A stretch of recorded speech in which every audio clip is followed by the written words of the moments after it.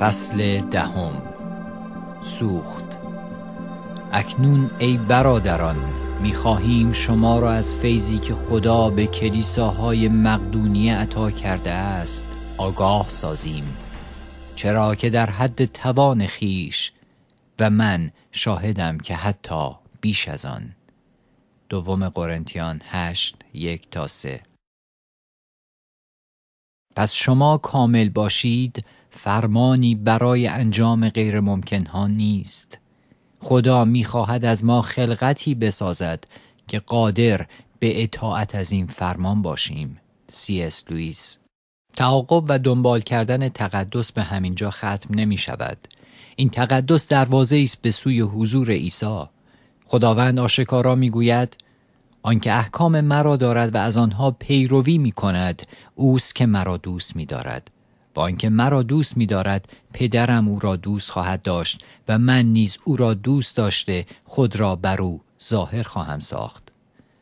وقتی کلام او را نگه می داریم عمیقا به شکلی صمیمانه قادر به شناخت او می شویم. نویسنده رساله به ابرانیان بر این مسئله تأکید می برزد و میفرماید سخت بکوشید که با همه مردم در صلح و صفا به سر برید و مقدس باشید زیرا بدون قدوسیت هیچ کس خداوند را نخواهد دید. ابرانیان دوازده چارده این خیلی ساده است. بدون تقدس نمی توانیم عیسی را ببینیم و به حضور او داخل شویم. تقدس یعنی منحصرا به او تعلق داریم و برای او از همه چیز جدا شده ایم این واژه همچنین به معنای پاک، بیگناه و درستکار می باشد. هر دو معنا در ارتباط با هم هستند. تعلق داشتن به او به معنای زیستن برای اوست یعنی خوشنود ساختن او با رفتار و سلوکمان. کولسیان یک ده می گوید که او می خواهد رفتار شما شایسته خداوند باشد و بتوانید او را از هر جهت خوشنود سازید. از این گذشته او برای کلیسای پرجلال باز می گردد و کلیسای درخشان را نزد خود حاضر سازد که هیچ لک و چین و نقصی دیگر نداشته بلکه مقدس و بیعیب باشد افسوسیان 5:27 جالب است که این تنها توصیف کسانی است که او برای آنها باز می گردد. به این موضوع فکر کنید. کتاب مقدس عروس عیسی را قدرتمند مطرح سازماندهی شده با مراجعین زیاد منطبق با اصول رهبری ستایش آمیز یا شاد توصیف نمی کند اینها همگی خصایصی برجسته و عالی هستند اما خصوصیت برجسته و اصلی که او از عروسش می‌خواهد این است که او مقدس و بیعیب باشد. حقیقت جالب دیگر این است که مقدس بودن شاخصه و خصوصیت اصلی است که خود خدا را نیز توصیف می کند. اشعیای نبی یوحنای رسول هر یک درباره دیدن تخت خدا نوشتند. هیچ کدام از این دو مرد نمی توانند کمکی بکنند. اما به فرشتگانی توجه کنید که سالها او را احاطه کردند و هنوز فریاد می‌زنند قدوس قدوس قدوس آنان فریاد نمی‌زنند وفادار یا با محبت یا مهربان یا سخاوتمند. او تمامی خصوصیات عالی را دارد اما تقدس بر همه آنها غالب است. دو گزینه. فرمان پاک باش بیگناه باش درست کار باش یک پرسش قدیمی را پیش می کشد اما چطور می توانم این گونه باشم؟ ما با نیروی خودمان تلاش می کنیم و به شکلی رقت انگیز هم شکست می خوریم. ما می خواهیم از فرمان خدا که در زمیر ما نهاده شده اطاعت کنیم اما مکررن شکست می خوریم. اما سپس فیض آمد. ما نمی توانستیم آن را با اعمال خوبمان به دست آوریم و هنوز هم نمی توانیم. ما شایستش نبودیم هنوز هم نیستیم. این هدیه خدا ما را به طور کامل بخشیده و تا زمانی که کم میآوریم ما را می بخشد. ما از گناهان خود آزاد شده ایم. هرچند این آگاهی شگفتانگیز را داریم اما هنوز به خاطر ناتوانی خود در نگه داشتن فرامین خدا معیوس و مستاصل می شویم. چرا این موضوع تا این حد پیچیده است؟ ما با خلقتی جدید تولد تازه یافته ایم. پس چرا هنوز در نگه داشتن فرامین خدا شکست می‌خوریم؟ در اینجا فکر می‌کنیم که با یک گزینه روبرو هستیم. گزینه ای که تنها راه خروج را نشانمان می‌دهد. و آن اینکه ما می توانیم تعلیم دهیم که تقدس تنها در ارتباط با جایگاه ما در مسیح است و همه با هم دعوت کتاب مقدس برای داشتن رفتار و سلوکی مقدس را نادیده بگیریم بنابراین محکومیتی هم احساس نمی کنیم. ما می توانیم برای عدم تغییر و دگرگونی خود عذر و بهانه بتراشیم که انسانیم و انسان جایز الخطاست. بدین ترتیب تمرکز ما صرفا بر آموزه کوتاه و خلاصه شده فیض خواهد بود و اینکه چگونه گناهان گذشته حال و آینده ما را می بخشد. اگر ما این را تعلیم داده و صرفا به همین باور داشته باشیم به امنیتی کاذب بال و پر می دهیم زیرا وجدانمان را ساکت می سازیم. اما اگر با دقت بیشتری به ندای قلبمان گوش دهیم میشنویم که فریاد می‌زند باید چیز بیشتری هم باشد با کمال تأسف بسیاری از ما تنها به همین گزینه بسنده کرده ایم و طبق آن عمل می نماییم و با نادیده گرفتن انبوه آیات تحت جدید که ما را به روش زندگی خدا پسندانه دعوت می کنند به روش های خود ادامه می دهیم. من می توانم سرفصل های فراوانی از عهد جدید در این باره ارائه دهم اما اجازه دهید فعلا با این یکی شروع کنم. ای فرزندانم این را به شما می نویسم تا گناه نکنید. از اینجا می دانیم که او را می شناسیم که از احکامش اطاعت می کنیم اول یوحنا دو یک و سه شش. یوحنا نمی نویسد اگر گناه می کنید نگران نباشید هرچه باشد همه ما انسانیم. خیر او به سراحت می نویسد تا گناه نکنید. با این وجود هدف ما زیستن همانند ایساست بر طبق تعلیم کتاب مقدس این هدفی غیر ممکن نیست بنابراین گزینه نادیده گرفتن و بیاعتنایی به تعدد گناهان به خاطر طبیعت انسانی در راستای تعلیم یوحنا و آیات فراوان دیگر عهد جدید نیست آیا چیزی را از قلم انداخته ایم؟ آیا خدا وضعیت دشوار ما را از پیش ندیده و نقشه ای را از قبل طراحی کرده؟ خیر. در واقع او وضعیت ما را می‌شناسد. این گزینه است که کمتر از آن صحبت شده اما به طور کامل همسو و هم راستا با تمام مشورت ها و راهنمایی های عهد جدید است. این جنبه ای از فیض است که بسیاری از آن غافلند. این همان سوختی است که طبیعت تازه ما را نیرو میبخشد. به بیان ساده فیض ما را قدرت میبخشد تا زندگی نیکویی داشته باشیم. حقیقت ناشناخته فیض در سال 2009 یک تحقیق آماری از هزاران مسیحی در سراسر آمریکا به عمل آمد. شرکت کنندگان در این نظرسنجی ایمانداران تولد تازه یافته از کلیساهای مختلف بودند. پرسش نظرسنجی این بود: دست کم یک تعریف یا توصیف از فیض خدا ارائه دهید.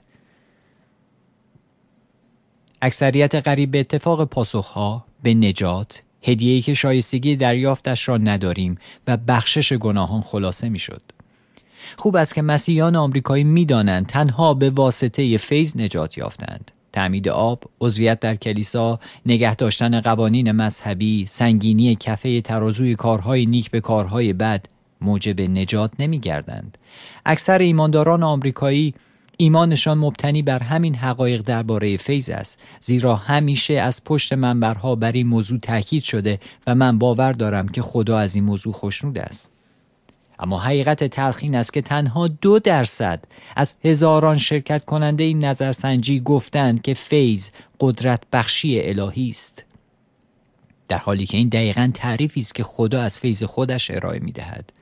او میفرماید فیض من تو را کافی است زیرا قدرت من در ضعف به کمال می رسد پس با شادی هرچه بیشتر به ضعفهایم فخر خواهم کرد تا قدرت مسیح بر من ساکن شود.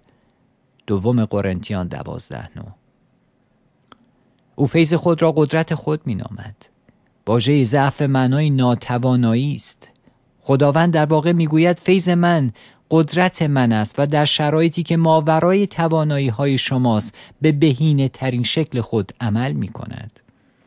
پتروس نیز فیض خدا را به همین شیوه تعریف می کند. او می نویسد فیض و سلامتی به واسطه شناخت خدا و خداوند ما عیسی به فزونی بر شما باد. قدرت الهی او هر آنچه را برای حیات و دینداری نیاز داریم بر ما ارزانی داشته است. این از طریق شناخت او میسر شده که ما را به واسطه جلال و نیکویی خیش فرا خوانده است. دوم پتروس یک دو تا سه. اینجا نیز فیض خدا قدرت الهی او تعریف شده. پتروس می‌گوید که هر منبع یا توانایی برای دینداری و داشتن زندگی مقدس از طریق قدرت فیض در دسترس ماست. اما نظرسنجی نشان می‌دهد که تنها دو درصد از مسیحیان آمریکایی از این حقیقت باخبرند و این مشکل بزرگی است. اجازه دهید توضیح دهم. برای اینکه چیزی را از خدا دریافت کنیم باید ایمان داشته باشیم. به همین دلیل است که عهد جدید کلام ایمان خوانده می شود به بیان ساده اگر باور نداشته باشیم دریافت هم نخواهیم کرد. در اینجا مثالی بنیادی از این مسئله می‌زنم. عیسی برای گناهان همه جهان مرد. با این وجود تنها کسانی نجات مییابند که آن را باور داشته باشند. اما اینجا با مشکل بزرگی روبرو هستیم. نمی‌توانیم به چیزی که نمی‌دانیم باور داشته باشیم. اگر 98 درصد مسیحیان نمی‌دانند که فیض قدرت خداست پس 98 درصد از آنها در تلاشند تا بر اساس توانایی های خود مقدس زندگی کنند. این کار به ناامیدی و شکست خواهد انجامید. طبیعت تازه آنها قدرت نیافته. به بیان دیگر هیچ سوختی در مخزن آنها نیست. بیایید یک قدم جلوتر برویم و نگاهی به مفهوم فیض در زبان یونانی بیاندازیم. واژه‌ای که اغلب در عهد جدید برای مفهوم فیض به کار رفته واژه خاریس می باشد فرهنگ لغت جامع استرانگز آن را چنین تعریف می کند عطا، لطف، احسان، رعفت و بخشندگی. اگر این معنای اولی از فیض را برداشته و با آیات برگزیده از رسالات رومیان، غلاطیان و افسوسیان ترکیب کنید دقیقا به تعریفی از فیض می رسید که اکثر مسیحیان آمریکایی با آن آشنا هستند. اما فرهنگ استرانگز معنای دیگری را نیز برای این واژه ارائه می دهد. قدرت و نفوذ الهی بر قلب و باستاب آن در زندگی. در اینجا می‌بینیم که بازنمودی بیرونی از آنچه در قلب ما صورت گرفته وجود دارد که در واقع همان قدرت فیض است. در کتاب اعمال رسولان برنابا به کلیسای انتاکیه رفت و وقتی به آنجا رسید فیض خدا را دید. او درباره فیض نشنید بلکه به جای آن نشانه هایش را دید. رفتار و اعمال بیرونی مردم تأییدی بر قدرت فیض در قلب های آنهاست.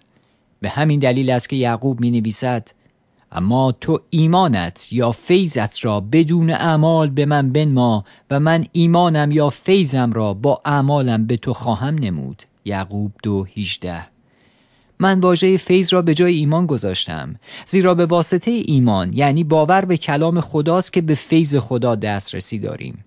ما توسط او و از راه ایمان به فیضی دسترسی یافته ایم که اکنون در آن استواریم.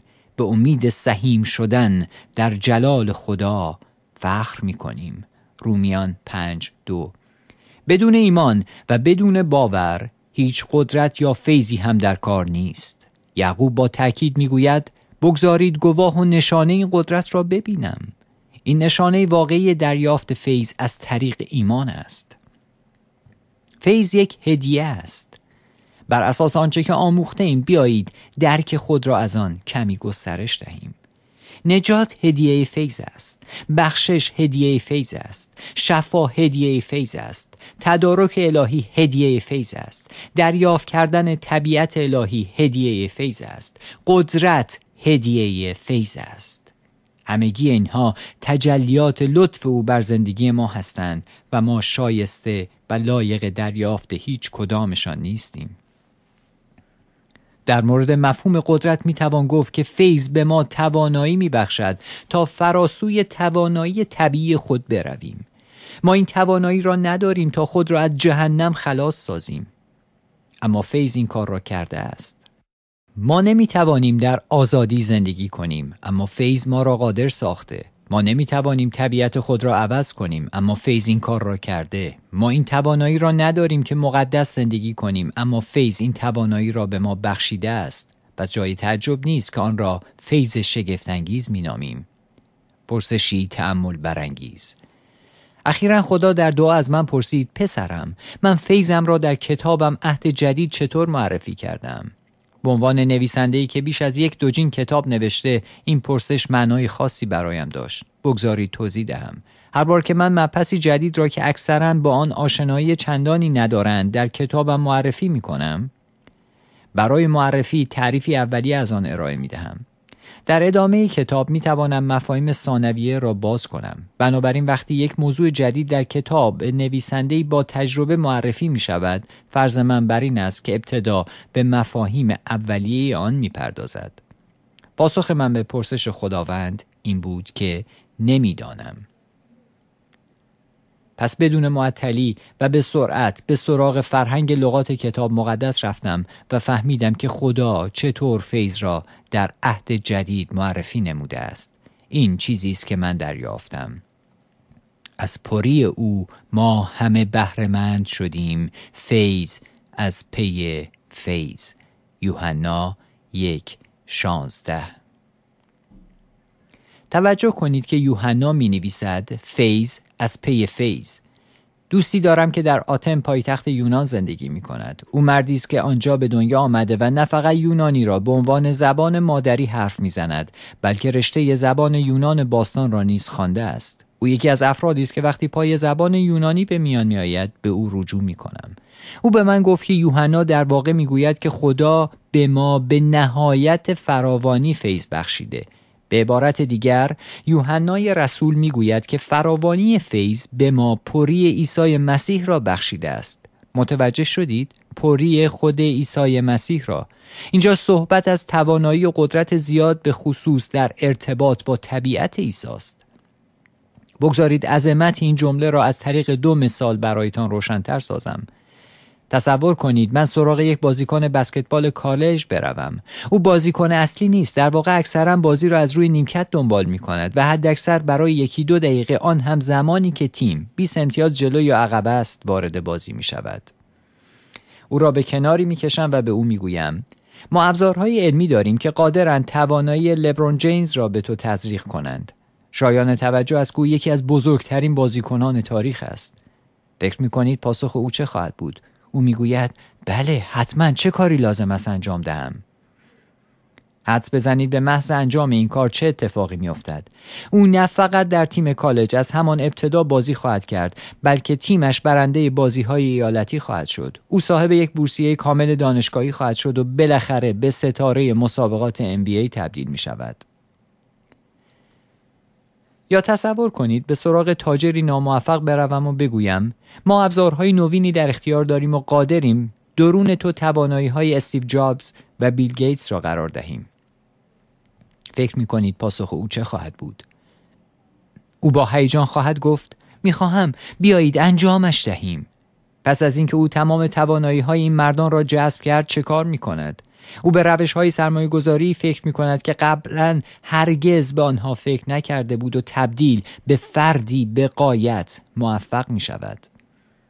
فیض به ما توانایی و پری لبرون جیمز، استیو جابز، بیل گیتس، آلبرت انیشتین، یوهان سباستیان باخ، راجر فدرر یا دیگر مردان و زنان بزرگ تاریخ را نمی دهد. آنچه که فیض به ما می بخشد پری خود عیسی مسیح است. آیا می توانید عظمت این موضوع را درک کنید؟ شاید به نظر غافلگیر کننده بیاید اما خدا فیض را در عهد جدید به عنوان نجات، هدیه رایگان یا بخشش معرفی نمی کند.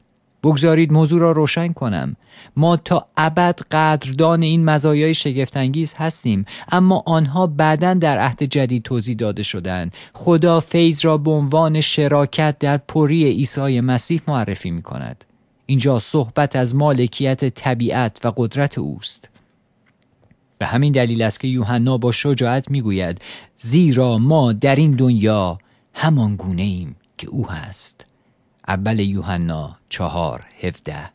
آیا تا به ها شنیده اید که خادمی بگوید ما هیچ فرقی با گناهکاران نداریم تنها فرقمان این است که بخشیده شده ایم؟ یا ما فقط کرمهای بیارزشی هستیم؟ یا ما انسانهایی با طبیعت گناه آلودیم و اسیر آن هستیم؟ چطور ممکن است کسی که کتاب مقدس را خوانده چنین چیزهایی بگوید؟ حتی دنیا چیزهای بهتری تعلیم می دهد آیا تا به ها شنیده شیر سنجاب به دنیا بیاورد؟ آیا تا به ها شنیده اید که اسب مسابقه کرم به دنیا بیاورد؟ کتاب مقدس می‌گوید ما استخوانهایی از استخوانهای او و گوشتی از گوشت او هستیم. به ما گفته شده عزیزان اینک فرزندان خداییم. ما همینک دختران و پسران خدا هستیم نه بعدن یعنی وقتی که مردیم و به آسمان رفتیم. چطور ممکن است فرزندان خدا کرمهای بیارزش باشند؟ ما از خدا تولد یافته ایم تخم غیرفانی او در ماست. ما از طبیعت الهی برخورداریم. ما در این دنیا همان گونه ایم که او هست نه در زندگی بعدی بلکه در همین جهان. بیایید بار دیگر گفته های پتروس را بخوانیم. فیض و سلامتی به واسطه شناخت خدا و خداوند ما عیسی به فزونی بر شما باد. قدرت الهی او هر آنچه را برای حیات و دینداری نیاز داریم بر ما ارزانی داشته است. این از طریق شناخت او میسر شده که ما را به واسطه جلال و نیکویی خیش فرا خوانده است. دوم پتروس یک دو تا سه. وقتی موضوع قدرت است هدیه فیض خدا به یک باره در لحظه نجات پدیدار نمی شود. در واقع فیض به معنای قدرت خدا چیزی تدریجی و پیوسته است و ما به فیض بیشتر و بیشتر نیاز داریم. به همین دلیل به ما گفته شده پس آزادانه به تخت فیض نزدیک شویم تا رحمت بیابیم و فیضی را حاصل کنیم که به هنگام نیاز یاریمان می‌دهد ابرانیان 4:16 این فیض همان سوختی است که در مخزن خود بدان نیاز داریم. حال ببینید یعقوب به ایمانداران پس از افشای خودخواهی روش زندگی زناکارانهشان چه می‌گوید؟ ای زناکاران آیا نمی‌دانید دوستی با دنیا دشمنی با خداست؟ هر که در پی دوستی با دنیاست خود را دشمن خدا می‌سازد. اما فیضی که او میبخشد بس فزونتر است. یعقوب چهار چهار و شش. این واژه ها را دوباره با دقت بخوانید. اما فیضی که او میبخشد بس فزونتر است. در ترجمه دیگری آمده اما خدا حتی فیضی بیشتر به ما میبخشد تا در برابر خواسته های نفس ایستادگی کنیم. این قدرت که فوق از شایستگی ماست به ما توانایی میبخشد که پیش از آن نداشتیم یعنی ظرفیت داشتن یک زندگی مقدس. این فیض برای کسانی که با باور به کلام او خود را فروتن می‌سازند افسوده می شود و قدرت طبیعت الهی او را در ما برمیانگیزاند. غرور متمرکز بر توانایی های خودش است اما فروتنی به قدرت خدا وابسته است. ایلیاب بزرگترین برادر داوود مردی مغرور بود که به قدرت خدا تکیه نمی کرد بلکه می‌خواست با نیروی خودش با جولیات مواجه شود. اما داوود مردی فروتن بود که با نیروی خدا با آن قول برخورد کرد. ما می‌دانیم که نتیجه هر یک از موقعیت ها چه شد. عیسی نمونه کسی است که به فیض خدا وابسته است. در باغ جسیمانی او وسط جنگی عظیم قرار داشت. جسم او آنچه را که خدا فرمان داده بود نمی‌خواست. اما در همان حینی که شاگردانش خوابیده بودند او خود را در دعا فروتن ساخت. او با فریاد سوختی را درخواست می کرد تا بتواند با پیروزی از میان بزرگترین جنگش علیه خودخواهی گذر کند. آن روز وقت ضرورت و نیاز بود و او با دلیری نزد تخت فیض خدا آمد تا با موفقیت از این کارزار بیرون آید.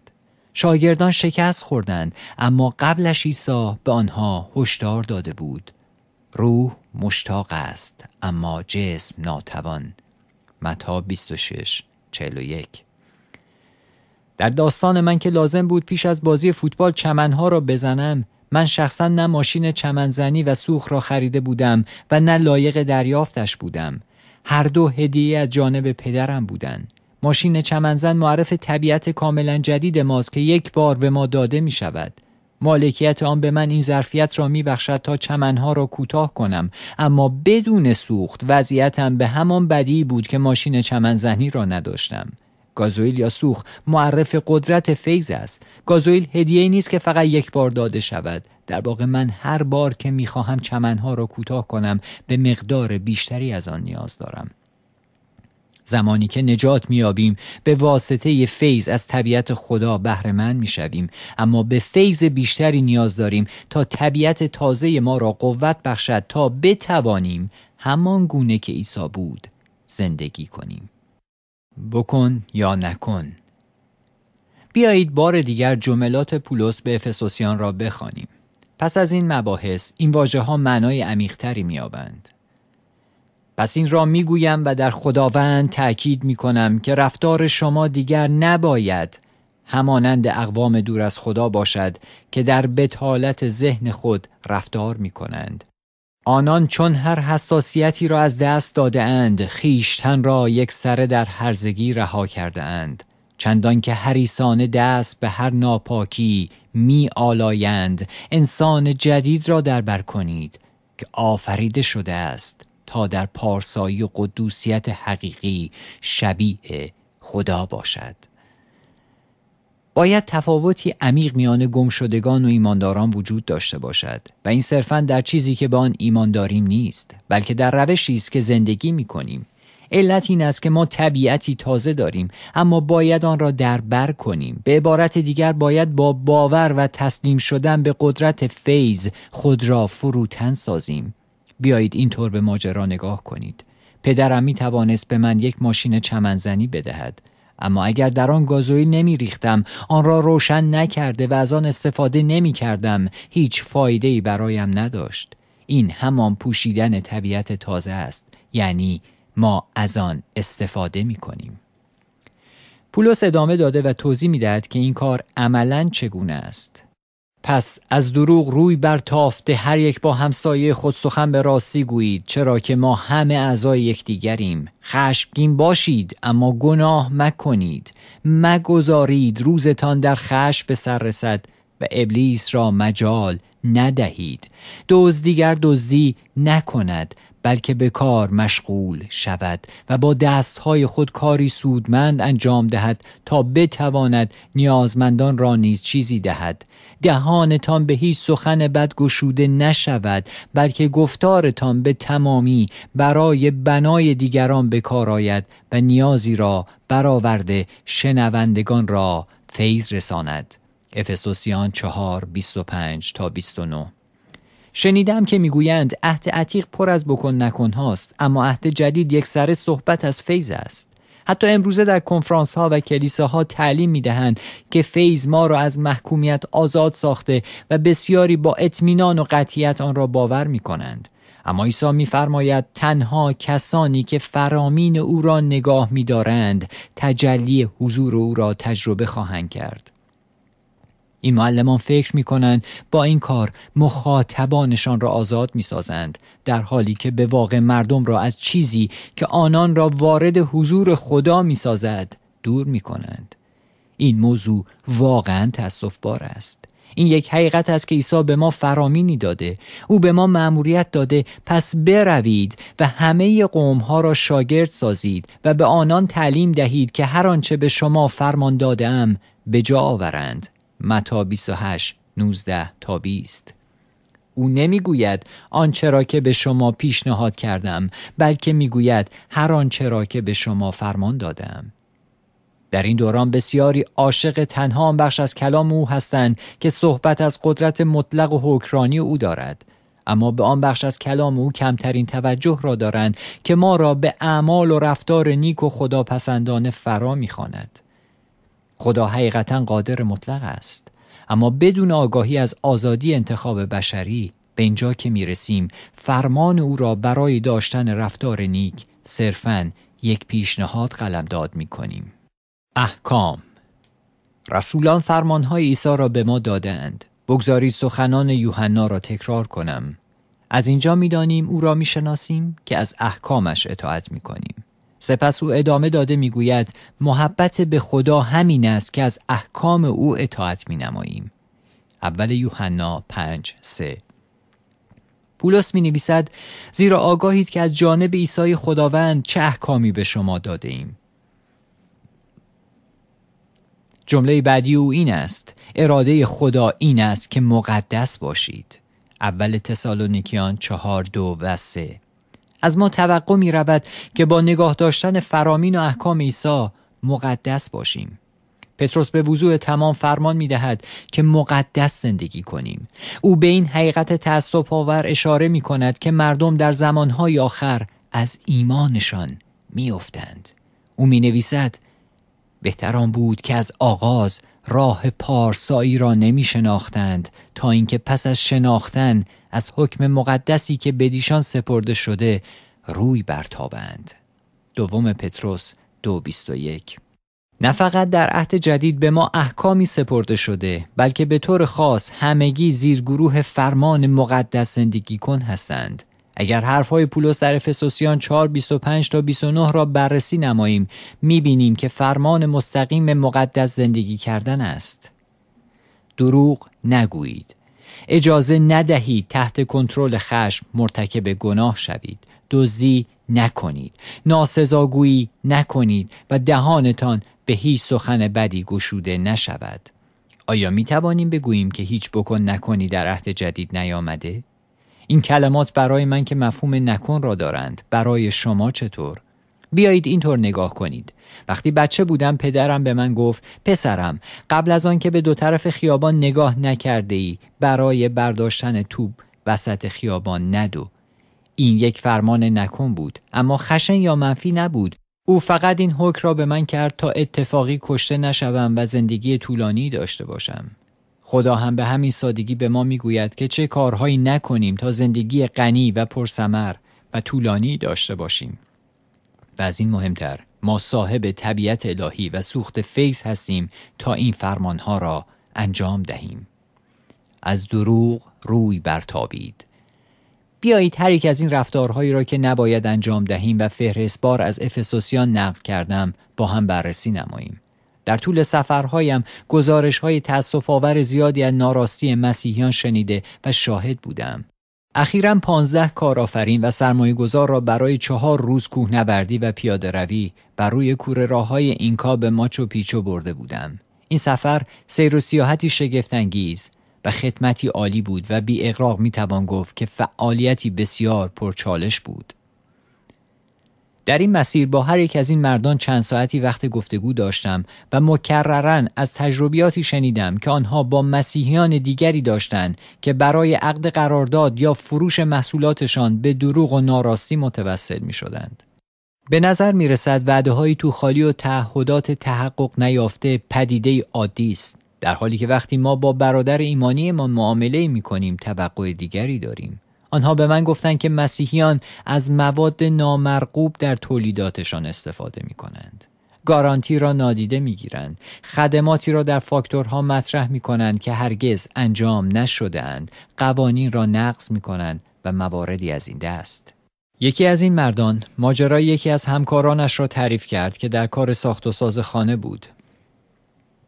این دو مرد در یک شهرک مشغول ساخت و ساز بودند. آن برادر به جای آنکه هزینه حمل ضایعات خود را به شیوه اصولی بپردازد در زمین دیگر مالکان از جمله دوستی که با او پیاده روی می کردم چاله می کند و ضایعاتش را دفع می کرد و سپس روی آنها را می پوشند. من داستانهای به مراتب بدتری هم در این سفر شنیدم اما این یکی به طور خاص روی من تاثیر گذاشت چون آن برادر رهبر پرستش در یک کلیسای انجیلی بود دروغگویی تنها منحصر به بازار کار نمی شود بلکه بین دولت مردان، تحصیل کرده ها، خادمان، پزشکان و حتی بین اعضای خانواده و دوستان هم شیوع دارد. ما برای حفظ وجهه خود حفاظت از شهرتمان ارتقا و جلو کشاندن خودمان برای هر موقعیتی که می خواهیم یا سرعت بخشیدن و تسهیل نمودن خواسته هایمان دروغ می گوییم. چطور اغلب به افراد می گوییم که برایشان دعا می کنیم در حالی که این کار را نمی کنیم گاهی به فرزندانمان قولهایی می دهیم اما به آن عمل نمی کنیم. نامزدیمان را بعد از اینکه قول می دهیم ابطال می کنیم بزرگ نمایی می کنیم تا خودمان را در کانون توجه دیگران قرار دهیم. همه اینها دروغ هستند و نتیجه اجتناب ناپذیرشان شکستن دل دیگران است. اجازه دهید بر این نکته مهم تاکید کنم که منفعت نگه داشتن احکام عیسی وعده حضور اوست. مزمور نویس با این پرسش بر این حقیقت تاکید می‌ورزد. کیست که در کوه مقدست ساکن گردد. مزمور پانزده یک. او بلافاصله پاسخ این پرسش را می دهد آنکه به قول خیش وفا کند هرچند به زیانش باشد. آیه چهار. اگر فرمان دروغ نگویید پولس را به افسوسیان ندیده ایم. می توان فرمان یعقوب را مد نظر قرار داد. او می نویسد خلاف حقیقت سخن مگویید. یعقوب سه چارده پولس فرمانی مشابه به کولسیان می دهد به یکدیگر دروغ مگویید. کولسیان سه نو تصورش را بکنید. پولس کسی که خدا از او استفاده کرده تا غنی ترین مکاشفه فیض را بیاورد به ما فرمان می دهد که فلان کار را نکنیم. اگر بخشای زیادی از عهد جدید را که توسط پولس و دیگر رسولان بیان شده جدا کنیم می توانیم آنها را به ضد فیض بودن متهم کنیم. در حالی که چنین نیست اگر تمام مباحث ما متمرکز بر فیضی باشد که ما را پوشانده و به ایمانداران درباره رفتار و سلوک قدرت یافته که همراه فیض است حرفی نزنیم و مثلا نگوییم دروغ نگو ناگزیر کلیسایی خواهیم داشت که این عمل را برای رسیدن به خواسته های خود مجاز می داند. آیا داشتن تعلیم و باوری نامتعادل نسبت به فیض آن هم بدون تاکید بر تقدس ما را به اینجا نمی رساند؟ آیا به ما یاد نمی دهد وجدانمان را نادیده بگیریم؟ اجازه ندهید خشم شما را کنترل کند. مورد بعدی خشمگین باشید اما گناه مکنید یا همانطور که در ترجمه دیگری آمده اجازه ندهید تحت کنترل خشم مرتکب گناه شوید است با مردان و زنانی ملاقات کردم که با همسری خشمگین زندگی می کردن. بارها شنیدم که چطور وقتی نیمانداران مدعی خشمشان فوران می کند خانه را ترس و وحشت فرا می گیرد. وضعیت فرزندانی که با والدینی زندگی می کنند که خشمشان مخرب و همراه بدرفتاری است چه می شود؟ شکستن وسایل خانه و حتی برخی آسیب های فیزیکی نتایج این انفجار خشم هستند. قربانیان در ترس انفجار بعدی زندگی می کنند. خشم جو خانه را تخریب می کند به حدی که دیگر پناهگاهی امن و آرام محسوب نمی شود.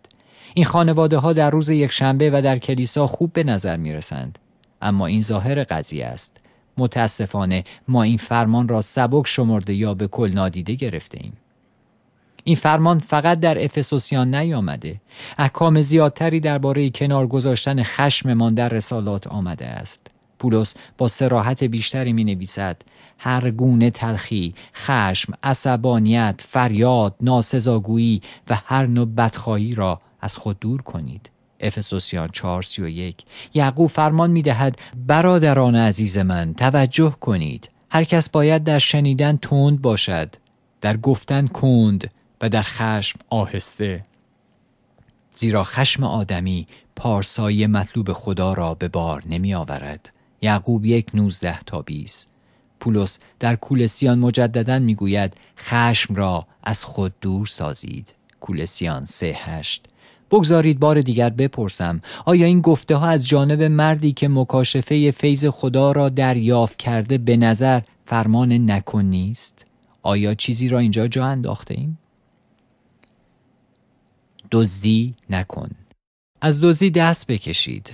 چند بار وام گرفته ایم و پس نداده ایم چند بار زیر بار قرض هنگوف رفته ایم ما باور داریم که برکت خدا بالاخره در زندگیمان متجلی خواهد شد. پس حکمت را نادیده می‌گیریم و بیشتر و بیشتر زیر بار قرض فرو می رویم. عاقبت اعلام ورشکستگی می کنیم و ضوابطی را میپذیریم تا ما را از گردن گرفتن مسئولیتمان در عدم باز پرداخت آنچه که می بایست به دیگران پس بدهیم آزاد سازد. چند بار از منابع شرکت برای منافع شخصی خودمان استفاده کرده ایم. این کار را اختلاس می نامند.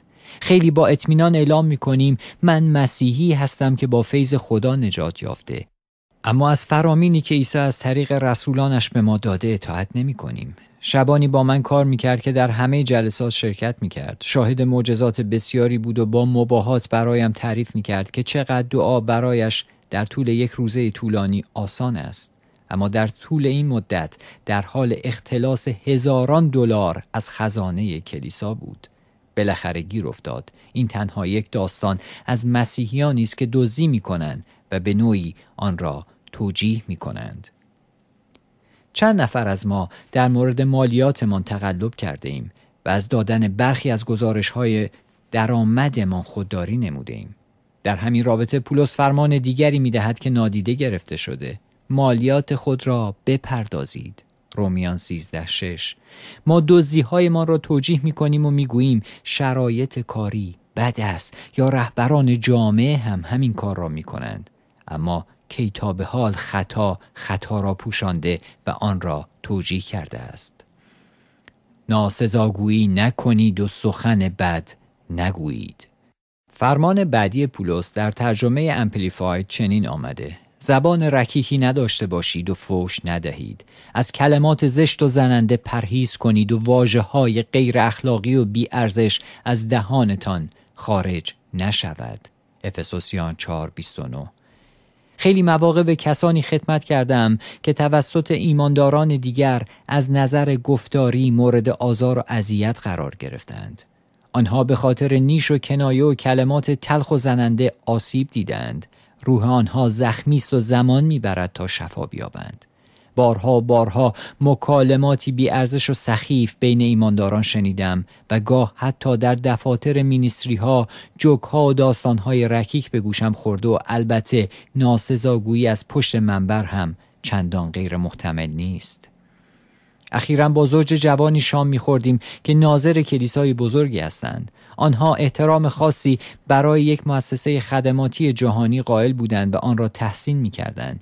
این فرصت به آنها داده شد تا با یکی از رهبران شناخته شده آن مینیستری شام بخورند. حین صرف غذا آن فرد چند بار فوش رکیکی را تکرار کرد. با وجود آنکه ماها از آن ماجرا گذشته بود اما این زوج همچنان در شک به سر می بردند. فیض ارزان چه اتفاقی افتاده است؟ آیا ما انقدر وقیح شده ایم که رفتارهای پرهیزگارانه را دور انداخته ایم؟ آیا شاهد بودن برای مسیح را قربانی کرده ایم تا بیشتر مناسب زمانه خود باشیم؟ من شخصا دوست دارم که آدمی به روز باشم با تفکراتی پیشرو اما نه به بهای کوتاه آمدن از کلام خدا ما باید این سوال را از خود بپرسیم که اگر رسولان لازم دیدند برای هدایت ما به سوی رفتاری پرهیزکارانه این فرمانها را بدهند پس چرا ما حاضر نیستیم از آنها سخنی به میان آوریم؟ آیا ما بیشتر از آنها می‌دانیم؟ آیا ما بیشتر از عیسی می‌دانیم؟ آیا ممکن است دشمن مانند حوا ما را فریفته و اقوا کرده باشد؟ بله اما الان وضعیت کمی متفاوت است. هوا به خوبی از فرمان نخوردن میوه درخت شناخت نیکوبد آگاه بود. دشمن مجبور بود با مخالفت مستقیم با کلام خدا ریسک بزرگی بکند. این کاری حساس و خطیر برای او بود. ما اما کار را برای شریر آسان کرده ایم. ما خیلی ساده بعضی از بخشهای کلام را حذف کرده و از قلم انداخته ایم. آیا به یاد می آورید که خدا چه فرمانی داد؟ او گفت تو می توانی از هر یک از درختان باغ آزادانه بخوری اما از درخت شناخت نیک و بد زنهار نخوری زیرا روزی که از آن بخوری به یقین خواهی مرد. اما در مقابل امروزه به ما می‌گویند می توانید آزادانه از همه درختان باغ بخورید. بله درست همین. آنها فرمان نباید و این کار را نکنید که مربوط به رفتارهای غیر پرهیزکارانه است را حذف کردند در اصل ما فیض ارزان را عرضه می کنیم. به درستی اعلام می کنیم که فیض نجات می دهد می بخشد هدیه رایگان از محبت خداست. اما نمی‌گوییم که فیض طبیعت ما را عوض کرده و ما را قوت میبخشد تا به شیوهی که به آن عادت کرده ایم زندگی نکنیم. ما از گفتن این حرف به مردم اجتناب می کنیم که اکنون قدرت یافتند تا رفتارهای غیر پرهیزکارانه را ترک گویند نتیجه این سکوت این است که ایمانداران از پرهیزگاری بیخبرند و حضور خدا را از دست می دهند. موضوع اعمال ما همین اواخر در وسط مطالعه روزانه کتاب مقدس بودم و داشتم مزمور و ابرانیان را میخواندم. بخش مزامی را به پایان رساندم و رساله ابرانیان را باز کردم که به شکلی جدی حس کردم. روح القدس به من می‌گوید ابرانیان را نخوان مکاشفه را بخوان. درست چند هفته پیش بود که با تاکید و اجبار روح القدس مکاشفه را خوانده بودم. چند باب اول را خواندم اما با تأسف باید اعتراف کنم که دیگر علاقه ای به ادامه آن نداشتم. روز بعد مجددا به برنامه مطالعه روزانم برگشتم. دو هفته بعد رسیدم به باب سوم که آن روز مطالعه را قطع کرده بودم. ناگهان مبهوت کلمات عیسی به کلیسای ساردس شدم. به فرشته کلیسای ساردس بنویس آنکه هفت روح خدا و هفت ستاره را دارد. چنین می‌گوید از اعمال تو آگاهم آوازه زنده بودنت بلند است اما مرده ای. مکاشفه سه یک. نخست دقت کنید که عیسی می‌گوید از اعمال تو آگاهم نه از آنچه به آن باور داری. او نمی‌گوید از نیات تو آگاهم. در ترجمه دیگری آمده که کارهای تو را می‌دانم. واضح است که عیسی به پارسا شمردگی آنان اشاره نمی کند بلکه روی صحبت او تقدس بیرونی آنهاست یعنی کارها، رفتارها، انتخابهای زندگی و چیزهایی از این دست. او این کلیسا را کلیسایی معرفی می کند که آوازه زنده بودنش بلند است این توصیف چه چیزی را نشان می دهد؟ آیا می تواند به این معنا باشد که کلیسایی در حال رشد محبوب و معروف با جلسات پرهیجان و برانگیزاننده و جو و اتمسفری درخشان است؟ به یاد داشته باشید که ما می توانیم ناخواسته اتمسفر را جایگزین حضور خدا بسازیم. اگر شما در یک کنسرت پاپ شرکت کنید در آنجا جمعیتی زیاد با هیجانی مصری وجود دارد و توقع داریم که بعد از ظهری عالی داشته باشیم اما آیا این نمایش ها با قلب خدا هم راستا هستند؟ یک پرسش مهم در کشف اینکه آیا یک جماعت کلیسایی زنده است یا مرده این است که آیا از کلام عیسی اطاعت می کنند یا جامعه همبسته را گسترش می دهد که در واقع از فرامین او دور افتاده است پرسش دیگری که باید بپرسیم این است که آیا ما در حال اعلام حقایقی هستیم که به شرایط قلب ما می‌پردازد و نتیجهش تغییر رفتار و سلوک ماست یا پیغام هایی می دهیم که احساسات ما را نوازش می کنند و باعث تهیج عقل و شعور ما می شوند. عیسی در ادامه این جمله آغازین می گوید بیدار شو و آنچه را باز مانده و در آستانه مرگ است استوار گردان چرا که اعمال تو را نزد خدایم کامل نیافتم. آیه دو. عیسی بار دیگر به اعمالشان اشاره می کند نه ایمانشان. همانطور که پیشتر بیان شد در عهد جدید هم بکن نکنهایی وجود دارد. این فرمانها مربوط به اعمال ما هستند. بر طبق گفته عیسی این کلیسا به دنبال سبک زندگی مقدس نیست و آن را با اشتیاق نمیپذیرد. سپس می‌گوید پس آنچه را یافته و شنیدهی به یاد آر. آن را نگاه دار و توبه کن. اگر بیدار نشوی دزدانه به سراغت خواهم آمد و تو آن ساعت را که به سراغت می آیم نخواهی دانست. مکاشفه سه سه.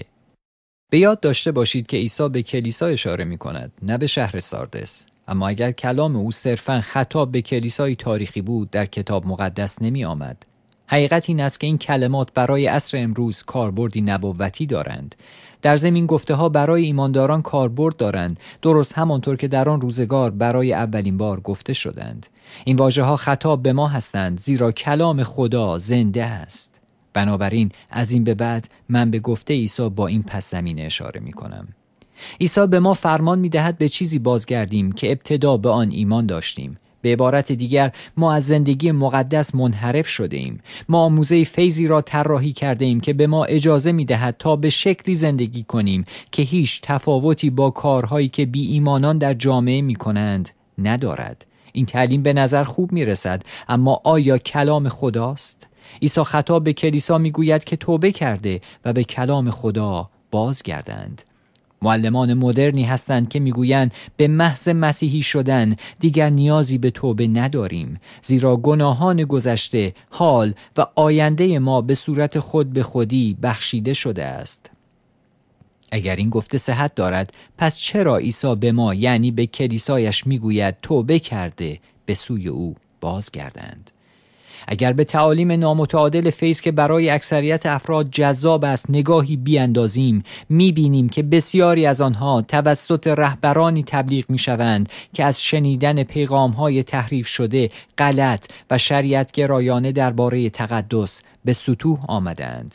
بله تقدس در بسیاری از جوامع به غلط معرفی و عملا تحریف شده است.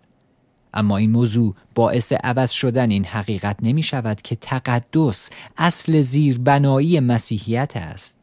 در طول تاریخ کلیسا فراخان برای یک زندگی مقدس بخش اصلی مأموریت مشترک و جمعی و نیز مسئولیت فردی ما بوده است. ما باید به بنیادها بازگردیم یعنی به آنچه که در ابتدا شنیده و به آن ایمان داشته ایم عیسی ادامه می دهد اما تنی چند هنوز در ساردس که دامن آلوده نکردند. اینان جامعه سفید در بر با من گام خواهند زد زیرا شایستند. مکاشفه سه چار به عبارت دامن آلوده نکردن دقت کنید. کلمات پولس را به یاد آورید که ما را برای حضور خدا آماده می سازد پس ای عزیزان حال که این وعده ها از آن ماست بیایید خود را از هر ناپاکی جسم و روح بزداییم و با ترس از خدا تقدس را به کمال رسانیم. دوم قرنتیان هفت یک. عیسی مسیر کلیسا را با دعوت به بازگشت به تقدس اصلاح می کند و از آنها می خواهد که جامعه های جسم و روحشان را با ناپرهیزگاری آلوده و ملوس نسازند. این کار ما را در وضعیتی آماده هم برای حضور او و هم برای بازگشت او نگاه می دارد. زیرا او در ادامه می گوید به هوش باشید که چون دوز می آیم خوشا به حال آنکه بیدار می ماند و جامعش را نگاه می دارد مبادا اوریان روانه شود و رسوای عالم گردد. مکاشفه شانزده پانزده. سپس چنین نتیجه گیری می کند هر که غالب باید این چنین به جامعه سفید آراسته خواهد شد و نامش را هرگز از دفتر حیات نخواهم زدود بلکه آن را در حضور پدرم و فرشتگانش بر زبان خواهم آورد. آنکه گوش دارد بشنود که رو به کلیساها چه می‌گوید. مکاشفه سه پنج تا شش. پاک شدن نام ما از دفتر حیات موضوعی کاملا جدی است. بله این کلمات از دهان منجی من خارج شده است. مهم است که به آن گوش فرا داده و به آنچه که روح خدا از طریق کلام مکتوب خدا می‌گوید دقتی شایان توجه نماییم و نباید این بیانات را که شاید با باورهای پیشین ما به آنچه که معمولا میاندیشیم همسو و سازگار نیست نادیده بینگاریم خدا ما را عادل و پارسا شمرده است. ما هرگز نمی توانیم برای به دست آوردن این جایگاه در مسیح کاری انجام دهیم. با این وجود داشتن زندگی که در توافق و همراستا با رفتار و سلوکی مقدس باشد به وضوح در نظر خدا اهمیت بسیاری دارد. پولس می نویسد زیرا فیض خدا به ظهور رسیده است. فیضی که همگان را نجات بخش است و به ما می آموزد که بیدینی و امیال دنیوی را ترک گفته با خیشتنداری و پارسایی و دینداری در این عصر زیست کنیم. تیتوس دو یازده تا دوازده. این یک فرمان سریح و واضح است. پس چرا ما این حقیقت را از پشت منبرهایمان جار نمی‌زنیم؟ نباید هرگز دست از تعلیم این حقیقت بکشیم که نمی توانیم با تلاش انسانی خود لطف بخشش و نجات خداوند را به دست آوریم. بیایید این خبر خوش را با صدای بلند فریاد بزنیم. با این وجود دست از ارزان فروشی فیض او برداریم. بیایید حقیقت را کامل و تمام ایار اعلام کنیم.